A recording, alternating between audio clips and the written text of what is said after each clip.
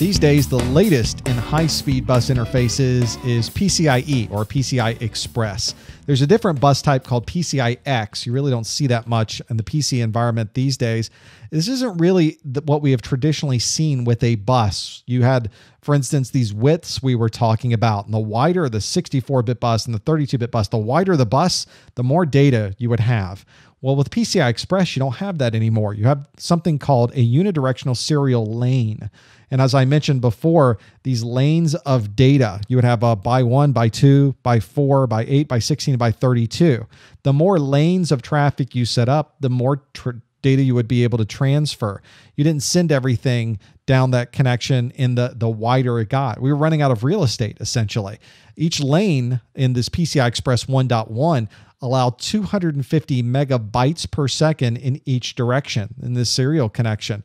So you're able to get on a by 32 connection up to 8 gigabytes per second going in each direction. The new format of PCI Express came out 2.0 and 2.1, which just doubled those numbers. So a huge amount of throughput. This is what we've needed for our high-speed graphics interfaces and some of these high-speed devices we put in our environment. There is a PCI Express 3.0, not out quite yet when we've made this video, but you can see huge amounts of throughput when you can get 16 gigabytes per second transferred through a system with PCI Express 2.0 and 2.1 you're really moving quite a bit of traffic through your system. You've got this PCI Express, you've got this by one. So you've got one lane going up and one lane coming back. So it's communicating in unidirectionally. One side is going one direction, one side's going the other. If we need a, a bigger amount of throughput, we would just add more slots. So by doing that, we simply add three more lanes. Now I've got a by four. I've got a PCI Express by four that's now transferring four times as much data. So it was very easy to expand the capabilities of PCI Express. And, and we'll even see this if we look at our motherboards, you'll see a one by slot. Here's a little 1X. Uh, you'll see the 16 by slot. It's got 16. It's much bigger. And here are some of the traditional PCI. So the PCI Express a little bit bigger, and you can see we're going to transfer a lot more traffic that way versus perhaps a, a one by slot. What's interesting about this is if you only need one lane, then you can create an interface card with a very, very small interface on it. For instance, this is a serial type card that is a PCI Express 16 port RS232 card. Doesn't require a lot of throughput so you can get away with just having this tiny little interface at the end of the card. Uh, video cards that need more throughput would have a larger number of, of interfaces at the bottom. It's a wider set of interfaces that plug into, for instance, the 16 lane slot, for instance.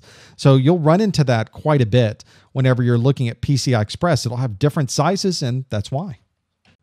There's a couple of other slots that are important to keep in mind for the A plus exam. You don't really see these much on traditional motherboards these days, on the, the most modern motherboards, but you see it on some of the older legacy systems. At one time, we didn't have a interface on our motherboard for the network. We didn't have interfaces on our motherboard for a modem. And to be able to get around and standardize on interfaces directly on the motherboard, we created something like this called an AMR bus. This is an audio modem riser, and this is a picture of what an AMR might look like. It was a very specialized expansion slot, and it was really designed to plug in an audio or a modem type hardware into a very standardized format. So we didn't have to have something that was taking up a full slot that we could have used for something else in our motherboard.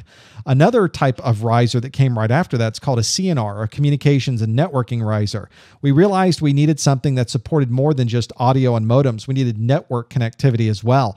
And so we were able to support that in this, uh, again, a tiny little slot here for the CNR, but it still provided us with a lot of uh, flexibility, a lot of standardization to be able to plug into and be able to just immediately stick a network connection right into a device.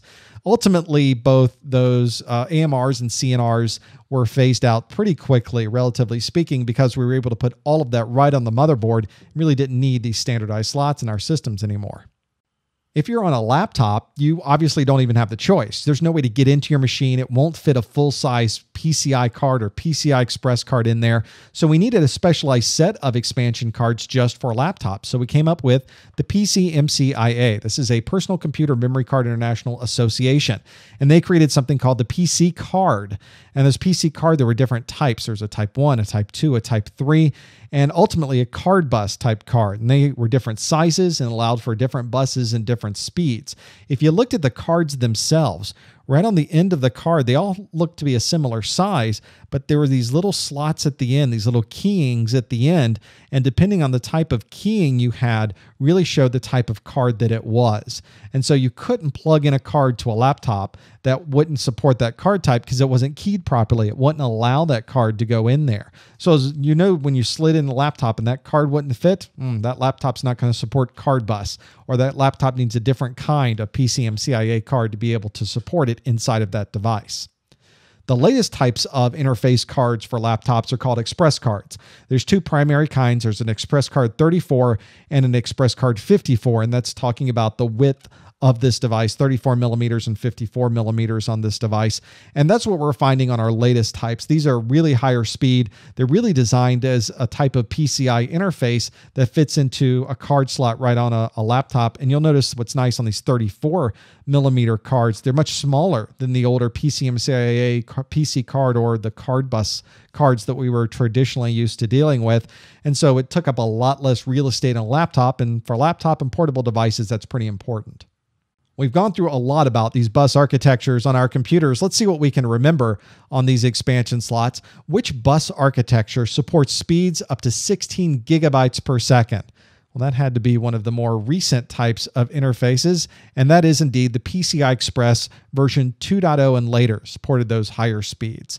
Which bus architecture was designed specifically for video? This came out in the Pentium 3 timeframe, somewhere around there, and it was called the Accelerated Graphics Port. Don't see many of those anymore, but really useful video format when it was available. And what is a single communications path called in PCI Express? Well, just like we're driving down the road, that would be a lane of communication. Well, that covers what we needed to know with bus architectures and expansion slots. We've gone through the PCI, the AGP, the PCI Express, our AMR CNR, and finally for laptops and portable devices, what we would think about with PCMCIA. If you'd like to watch any of our A Plus videos, it's absolutely free. Come to our website, participate in our message boards, much more. We got a lot there. You can find it all at freeaplus.com.